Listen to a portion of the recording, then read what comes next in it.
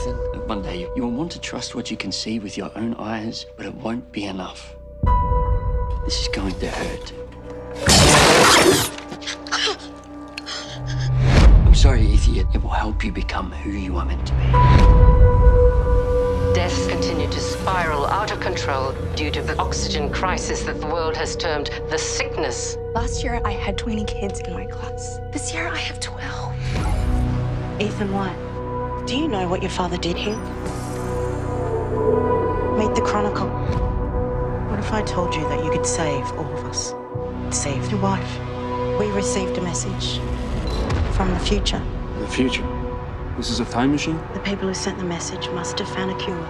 Do you really believe I'm gonna save the world? Your old man believes it. You may be humanity's only chance to find their cure. Ten, nine, eight, seven, six, five, four, three, two, one.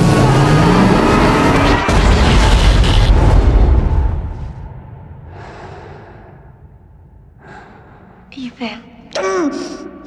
Come back to me.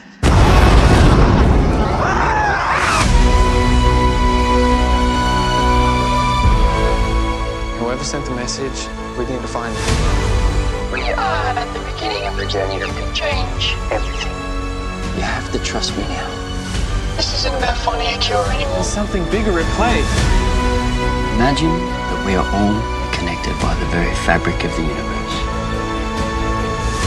An invisible field that bonds us together. You, me, the stars. We can't change anything. It's always gonna play out this way. There is no other way! We are all connected through time. About saving the world.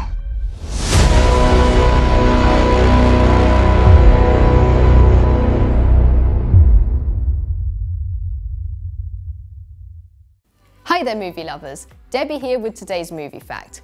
Ever wondered how astronauts spend their time in space? Well, Apollo 13, Armageddon, and Around the World in 80 Days are among some of the movies NASA keeps aboard the International Space Station. Remember to click below to subscribe, on the side for more great content, and if you like my t-shirt, you can get it at the link right below this video.